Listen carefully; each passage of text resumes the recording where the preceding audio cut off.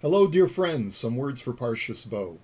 The Egyptians were at the end of their rope. They really couldn't hold out much longer from these horrible plagues. Their agriculture was in ruins, their livestock was devastated, and all the wealth of the Nile had been depleted. Even Paro's own servants begged him, release the Jews already. One would have expected that there would have been great resentment against the Jews for being the cause of all of this suffering, death, and loss. And yet, not once but twice does the Torah state that Hashem caused the Egyptians to harbor the exact opposite, which was great admiration and affection for the Jewish people right before they left Egypt. The first citation of this was right after the plague of darkness. In explaining to Moshe what was about to transpire, Hashem told Moshe that the Jews would request items from the Egyptians before their departure, and then the Torah states, Vayitain Hashem et chen ha'am be'enei Mitzrayim. Hashem placed the nation's chen, which is usually translated as favor or appeal, in the eyes of Egypt. Even Moshe, says the verse, became a hero in the eyes of all of Egypt, including Paro's own servants.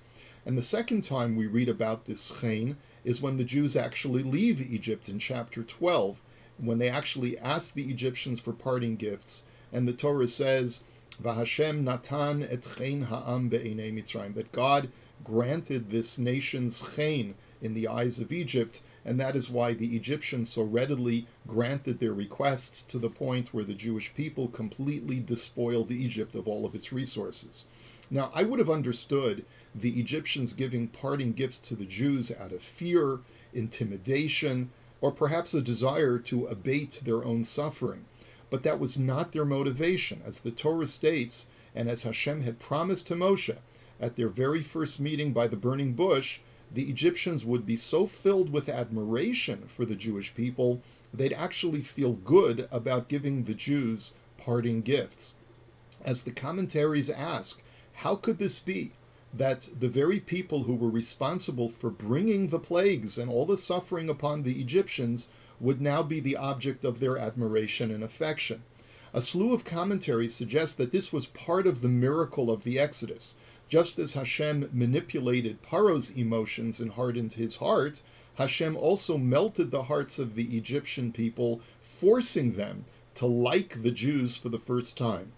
But I have a problem with that because if this was truly a miracle, I don't see why this miracle was necessary. The Egyptians could have just as easily given the Jews great wealth out of intimidation and fear, and the resulting benefit would have been the same.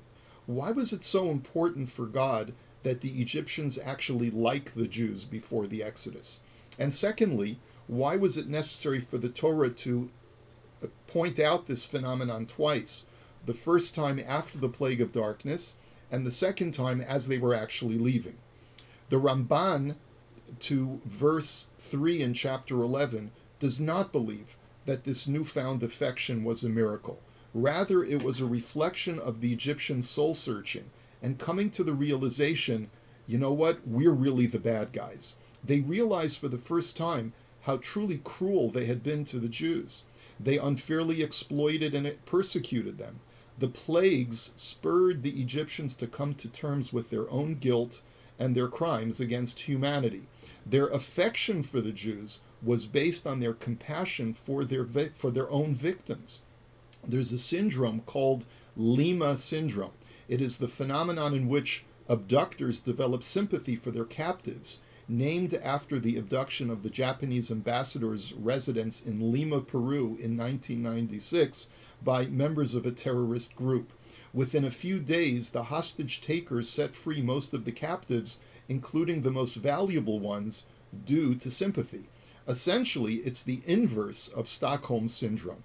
But it would seem that this is not a new phenomenon. The very first case of Lima syndrome occurred in ancient Egypt. Rabbi Shmuel David Luzzatto of the 19th century takes this one step further in his Torah commentary. He observes that, that at the same time that the Egyptians came to terms with their own evil, they also recognized that these Hebrew slaves were actually human beings.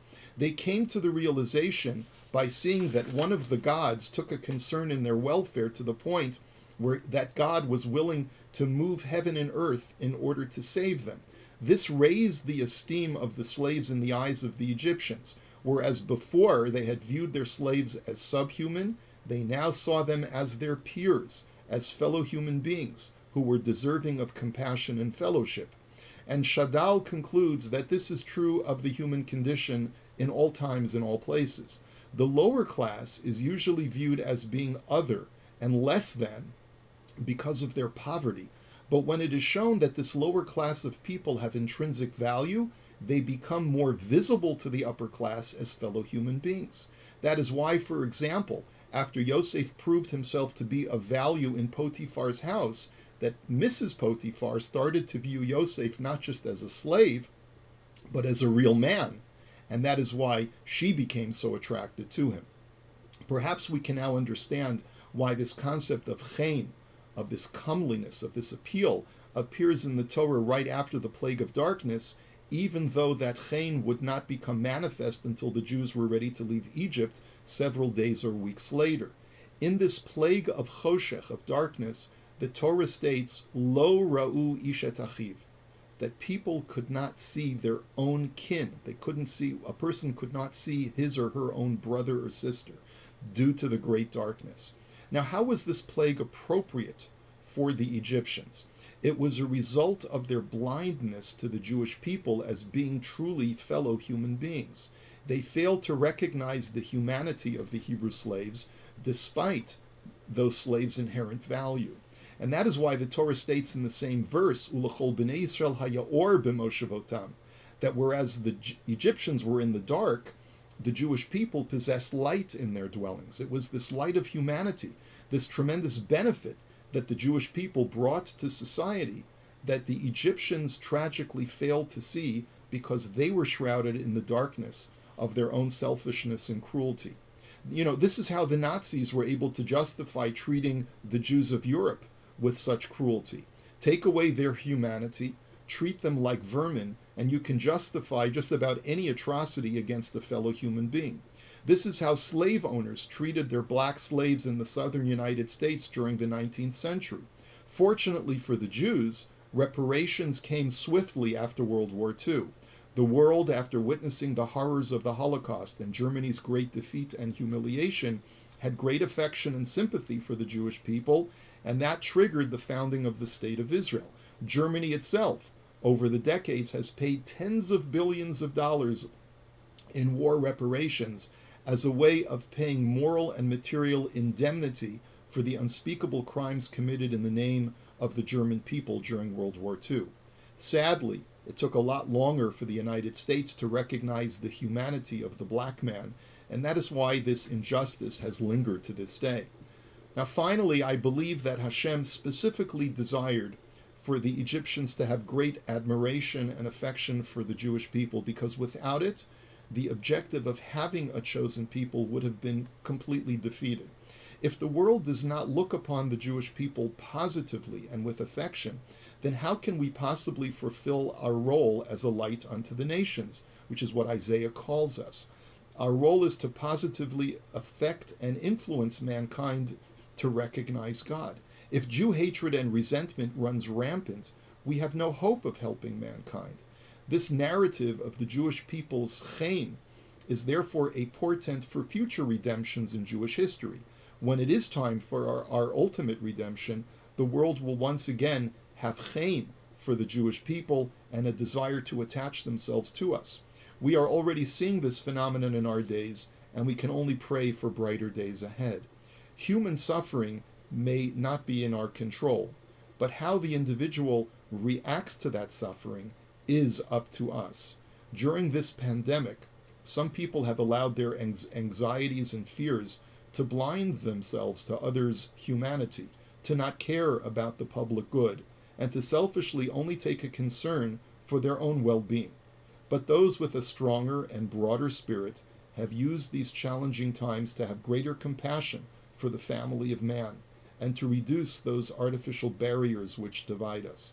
The benefit, and often the very objective of suffering, is to help reorient our vision and to realize that the other is also a person. Only by taking a concern for others will we be able to emerge from this, from this suffering as better people. I can see you. Can you see me? May our improved vision bring us to the redemption. Bimhera biyamenu amen. Wishing you a beautiful Shabbos, my friends.